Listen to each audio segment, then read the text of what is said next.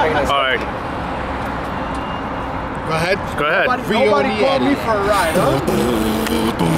Like my man Chuck D from PE, yeah, the West Coast, all those revolutionaries. You see, it's like the revolution was televised and then it was outsourced and then it was monopolized and somehow the revolution has been bought, the revolution's been caught, the revolution's been sold to the highest bidder. Now it's your soul on the slave market block.